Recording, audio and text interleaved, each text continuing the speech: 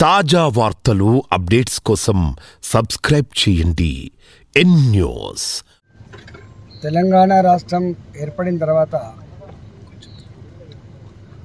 BC SC minority residential స్కూల్ని పెట్టి నా కొడుకుకు ఏ విద్య అయితే అందించినో నా కూతురుకు ఏ చదువైతే చెప్పించినో పేద ఇంట్లో ఉన్నటువంటి అమ్మాయి కానీ అబ్బాయి కానీ అంత గొప్పగా చదివిస్తాం. నా పిల్లలు వాళ్ళ కాళ్ళ మీద ఎట్లయితే అమెరికా లాంటి దేశంలో బతుకుతూ ఉన్నారో అలాంటి స్థితి రావాలని చెప్పి చాలాసార్లు చెప్పిండు. చెప్పడమే కాదు స్కూల్ పెట్టిండు. ఈ స్కూళ్ళ గురించి అసెంబ్లీలో మాట్లాడినప్పుడు కానీ ప్రజాక్షేత్రంలో మాట్లాడినప్పుడు కానీ నేనే ఈ స్కూల్ డిజైన్ చేస్తూ ఉన్నా. దాని మెనూ కూడా ఏం టిఫిన్ ఏం పెట్టాలి లంచ్ ఏం పెట్టాలి డిన్నర్ ఏం పెట్టాలి? టీచర్లు ఎట్లా ఉండాలి? పుస్తకాలు ఎట్లా ఉండాలి?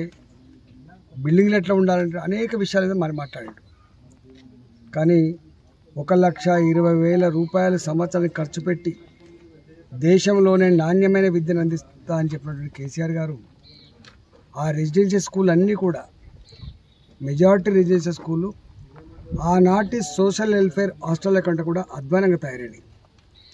మేము చిన్ననాడు ఏ నీళ్ళ చారైతే తాగినామో పురుగుల అన్నమైతే తిన్నామో అదే క్లాస్ రూమ్ అదే బెడ్రూమ్ అదే అన్ని అన్ని తప్ప ఇవాళ ఎక్కడ బిల్డింగ్లు లేవు.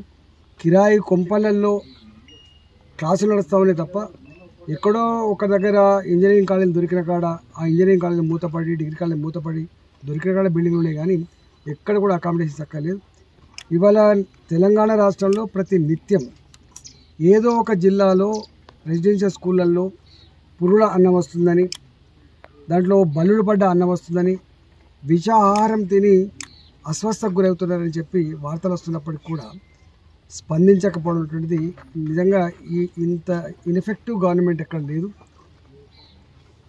కరోనా వచ్చిన తర్వాత పేయింగ్ కెపాసిటీ లేక రెసిడెన్షియల్ స్కూళ్ళల్లో ప్రైవేట్లో చదివించలేక గవర్నమెంట్ రెసిడెన్షియల్ స్కూళ్ళలో వేసినటువంటి పేరెంట్స్ ఎవరైతే ఉన్నారో వాళ్ళ పిల్లలు హాస్టల్కి పోతున్నప్పుడు ఏడ్చే తీరు. ఆ పిల్లల్ని స్కూళ్ళలో పడగొడుతున్నప్పుడు వీళ్ళు కన్నీ కార్చే కన్నీళ్ళు. అంటే ఏ బిడ్డడి శవం ఏ ఇంటికి వస్తుందో ఏ రోజు ఏ అప్- అపశుభమైనటువంటి వార్త వింటామో అనేటువంటి ఒక భావన వ్యక్తం ఉంది. ఇన్- నిన్న ఇక్కడ చిగురు మామిడిలో కూడా పురులన్నం ఎందుకు పెట్టిండంటే పురుగుల పురుగుల బియ్యమే పంపిస్తాను ఎందుకు ఉడికి ఉడకలన్నం పెడుతున్నారంటే గట్టినే వస్తానే బియ్యం. అంటే ఇట్లా ఇంత రిక్లెస్ సమాధానం చెప్తా ఉన్నారు ఇంతే కాదు.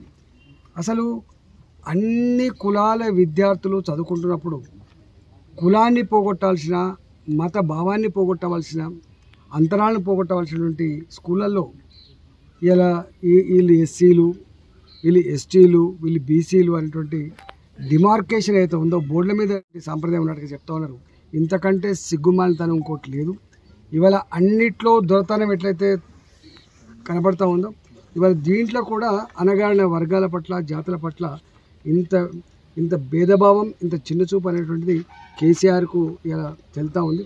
తప్పకుండా ఇలా తెలంగాణ ప్రజానీకం అంతా కూడా ఈ విషయాల మీద దృష్టి పెట్టి ఆలోచిస్తున్నప్పటికి కూడా పొలిటికల్ పార్టీలుగా ఇలా వాళ్ళకి సంఘీభావం చెప్పాల్సిన అక్కడ ఉండే కానీ రాజకీయ పార్టీలను హాస్టల్లో అడుగు పెట్టలేరు ఇలా త్రిబుల్ ఐటీ లాంటి బాసర కాలేజ్ దగ్గర విద్యార్థులు సమ్మె చేసినప్పటికీ ఉద్యమాలు చేసినప్పటికీ ఇనుప కంచెలు వేసి పోలీస్ పహారాల మధ్య ఇండియా పాకిస్తాన్ బార్డర్ లాగా ఎవరు రాకుండా చేసినంటే అంటే కేసీఆర్కు పేదల పట్ల పేదల విద్యార్థుల పట్ల ఏం భావన ఉందో దాన్ని బట్టి అర్థమవుతుంది. తప్పకుండా ఇవన్నీ ఇవాళ కేసీఆర్ ముఖ్యమంత్రి స్థానంలో ఉండి కేసీఆర్ మొత్తం ప్రగతి భవన్లో ఇనుప కంచెల మధ్య కూర్చొని కేసీఆర్ ఫామ్ హౌస్లో కూర్చుంటే కనపడకపోవచ్చు కానీ సందర్భం వచ్చినప్పుడు మాత్రం తప్పకుండా ఇవన్నీ గుండెలో పెట్టుకొని కర్ర కాల్చి వాత పెడతారు. తాజా వార్తలు అప్డేట్స్ కోసం సబ్స్క్రైబ్ చేయండి. ఎన్ న్యూస్